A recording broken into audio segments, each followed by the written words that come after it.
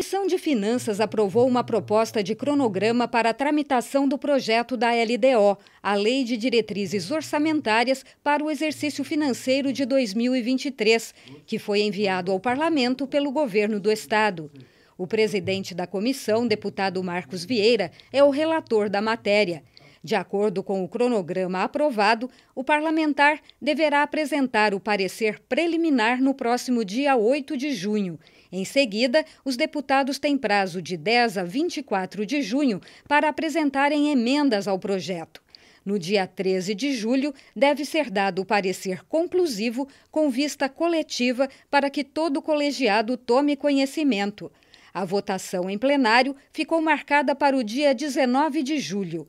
Se aprovada, a LDO retorna à Comissão de Finanças para a redação final com votação no dia seguinte. Em caso de aprovação, já no dia 21 de julho, a lei será publicada no Diário Oficial.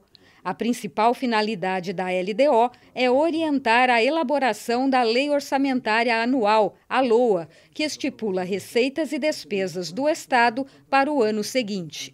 E essa lei tem que ser votada agora, tendo em vista que não haverá recesso, até o final do mês de julho, para que em setembro possa aportar aqui na Assembleia Legislativa o projeto de lei que trata da lei orçamentária anual.